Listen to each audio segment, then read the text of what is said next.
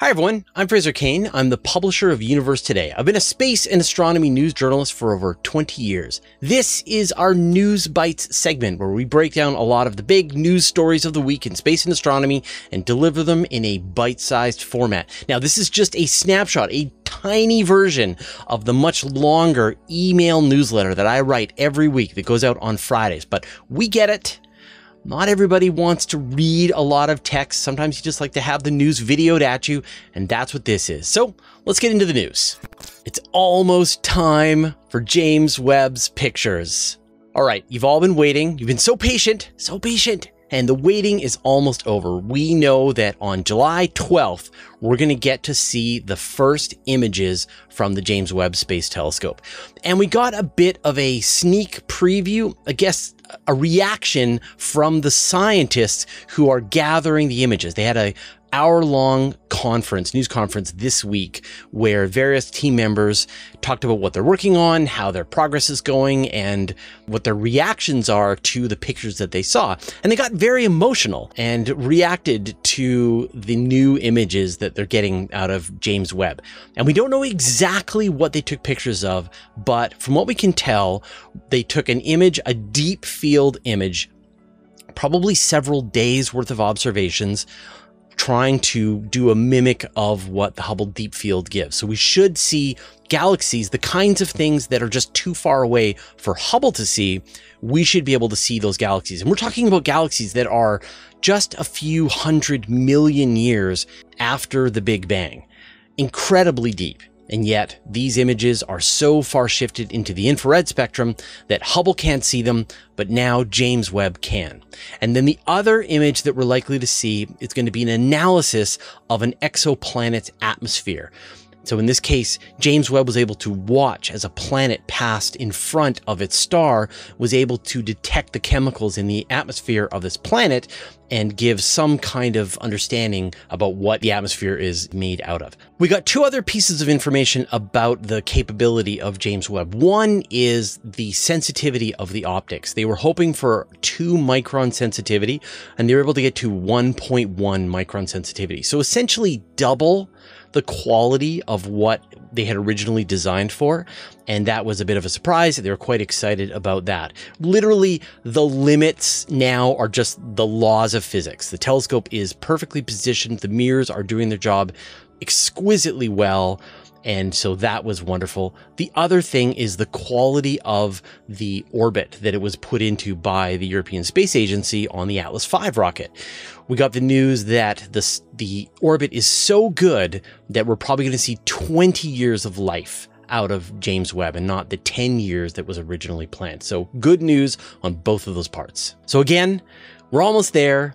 July 12th we will get a chance to see these images. And if you want more information, I actually did a fascinating interview with Lee Feinberg, who is the manager of the James Webb Space Telescope. He has been there for 20 years, watching over this telescope through its development, through its operations, launch, and gave a behind the scenes interview with me on the weekly space hangout where we talked about it for about half an hour. And honestly, it's one of the most compelling, fascinating interviews I think I've ever done. So you're definitely going to want to check it out over on the weekly space hangout. NASA is looking into nuclear power for the moon. When you talk to engineers working on space exploration projects, their top three priorities are power, power, and power. And that's because it's really hard to get electricity for all of the experiments that you're running, all of the, if you've got an ion engine, you need propulsion. And so when you think about a base on the moon that's going to have human beings living there, they're going to be having all their lighting, all their heating, all of their cooling, all of their equipment, electronics, etc. They're going to need a ton of power. And right now there's solar power but that's probably not going to give them enough energy, especially when the moon goes into the nighttime where it can be in darkness for two weeks. And so NASA is looking to develop a fission reactor that can go to the moon. And this week they announced that they've given out three awards to three different companies of, for $5 million. And so they've given an award to Lockheed Martin, to Westinghouse, and a collaboration called IX. And so the three teams have 12 months to write up proposals for a 40 kilowatt nuclear fission reactor that can sit on the surface of the moon for 10 years. And if this works, then we could see similar developments for spacecraft, for Martian habitats as well. So it's probably going to be one of those key technologies that will be needed for deep space exploration. Rocket Lab launches Capstone. This week, the New Zealand company Rocket Lab launched their Electron rocket carrying a NASA Capstone CubeSat mission. And this mission was being sent to a lunar rectilinear halo orbit. And this is an orbit that goes near the moon. It's not orbiting the moon, but it sort of is orbiting near the moon. Over the course of about seven days, it gets as close as about 1600 kilometers of the moon, and then it flies back out to tens of thousands of kilometers away. And this is the same orbit that NASA's Lunar Gateway is going to be following when it is launched later on this decade. And so the purpose of the Capstone mission is to really to just test out if this orbit is feasible, if it makes sense, does it work?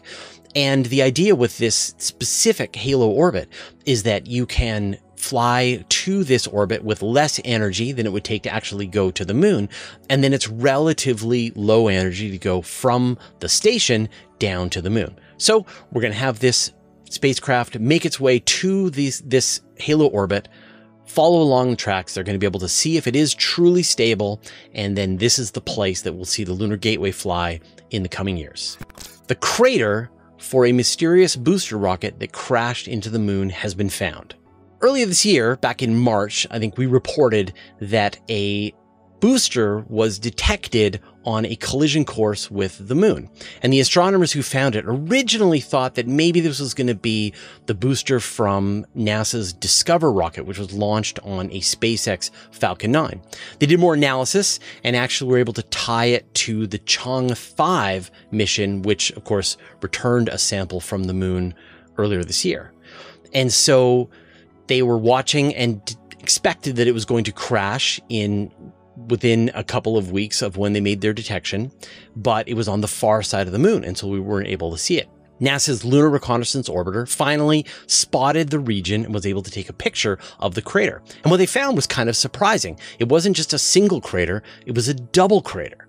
And so what they think happened is that whatever this booster was, it broke up during its flight, maybe through tidal interactions with the moon, and crashed into the moon in two places that are sort of overlapping.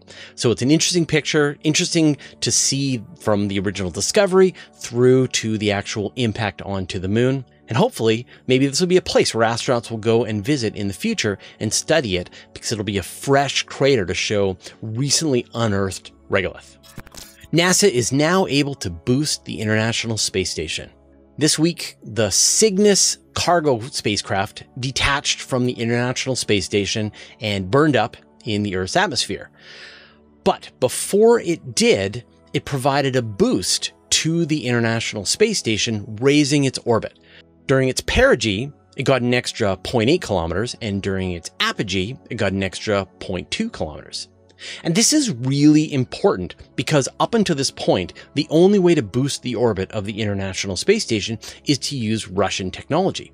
There's the thrusters on board the Zvezda module, as well as the various Soyuz and Progress spacecraft that attach to the International Space Station. And all of the boosts have been done with these spacecraft.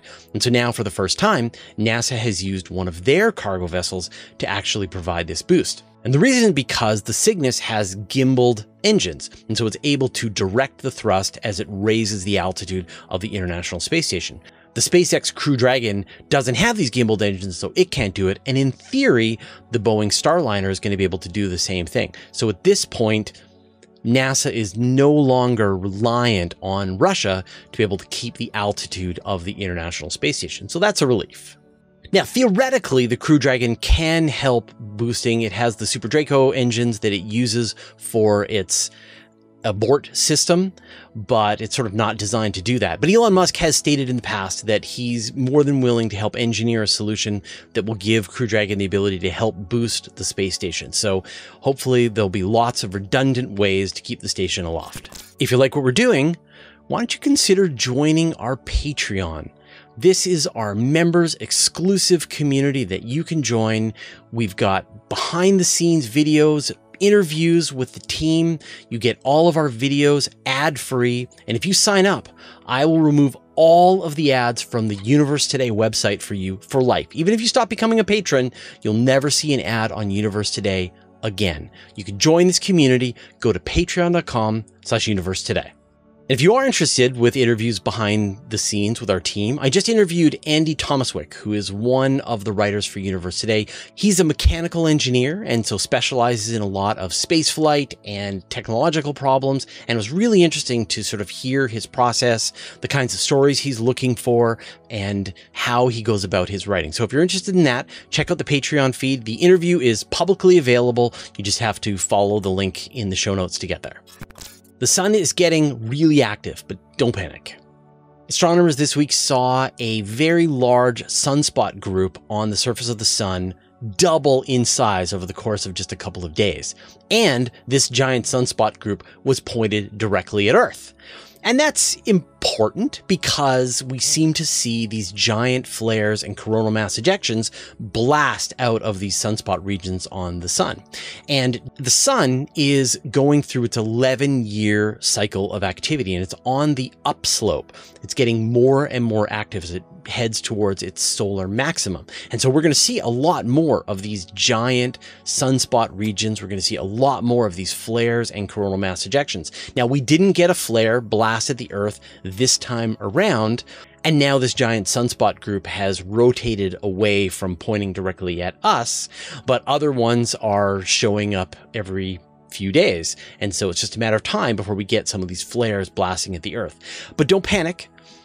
Generally, all we get are really cool auroras. And so if you've ever wanted to see an aurora with your own eyes and you live in the northern hemisphere, this is your chance. You, there's lots of websites that'll tell you about the space weather that's currently happening, and you can get alerts when we're expecting to see some kind of aurora activity in the sky. So then when you hear about one of these aurora alerts, then go outside at night if you live in the northern hemisphere, try and find a place that you can see the horizon to the north. If you live in the southern hemisphere, look to the south, and you may very well see auroras in the sky.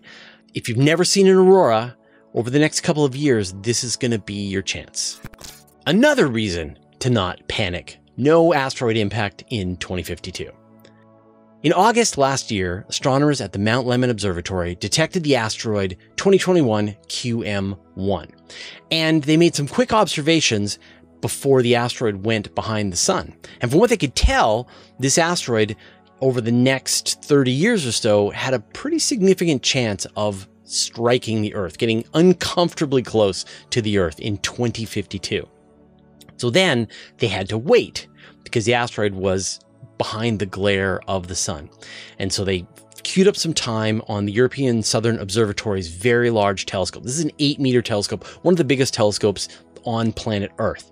And the moment they were able to see it coming out of the glare from the sun on the other side, they made observations. And this was really tricky. This is the faintest asteroid observation that's ever been made.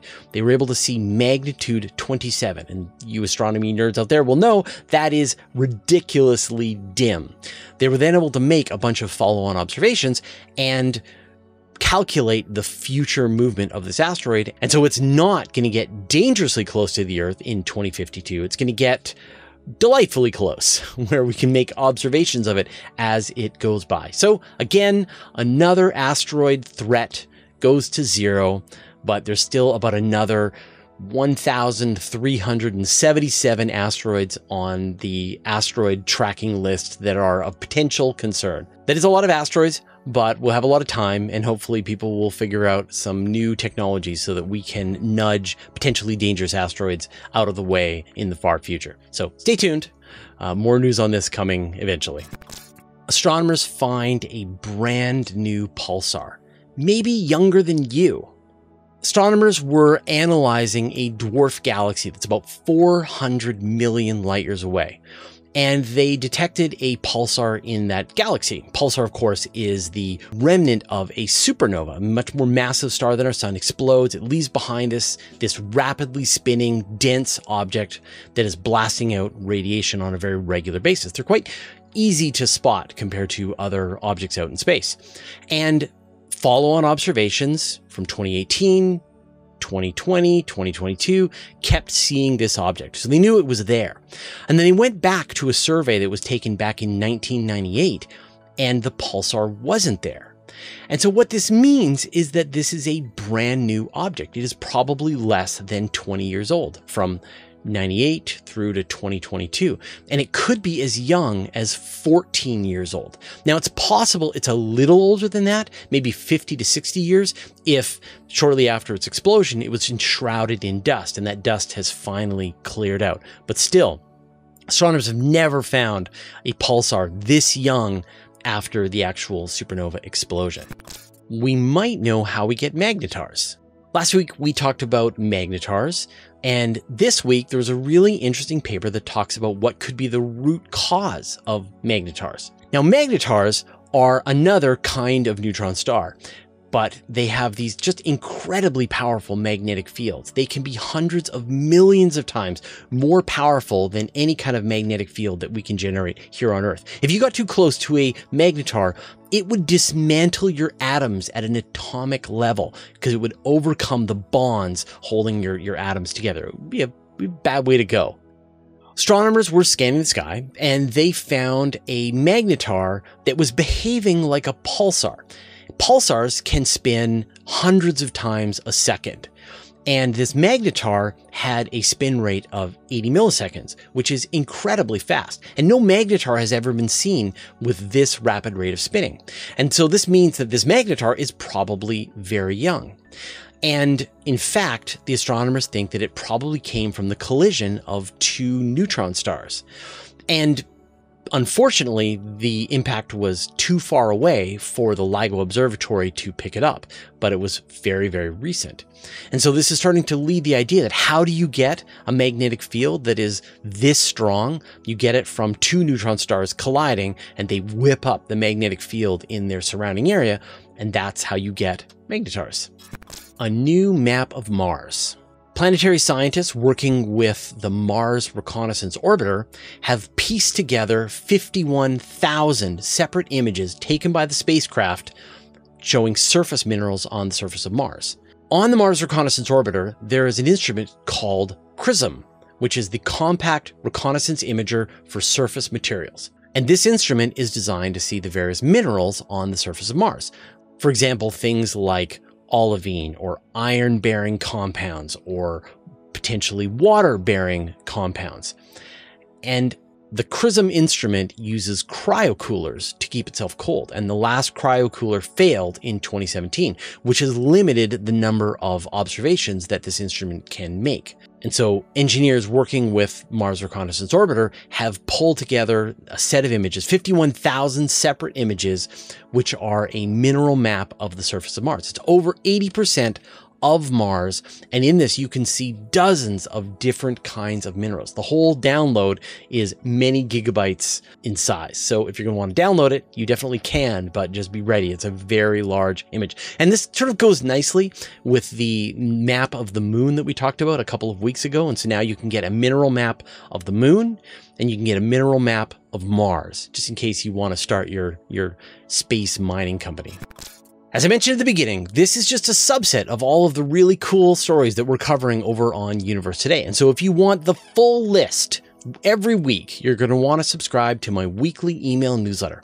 This is a magazine sized document that I email out every Friday. I write the thing myself. It goes out to 50,000 people. There are no ads in it at all. So if you want, check that out. Go to universetoday.com slash newsletter. And if you are too busy to be able to watch videos here on YouTube, you can also have an audio edition of everything that we do with Universe Today. All of the interviews, all of the news, all of the question shows, everything. Just go to universetoday.com slash audio or search for Universe Today on iTunes, Spotify, or wherever you get podcasts. Thank you to everyone who already supports us, and a special thanks to all the interplanetary researchers, the interstellar adventurers, and the galaxy wanderers. Your support means the universe to us. All right, those are all the stories this week. I hope you enjoy, and we'll see you next week.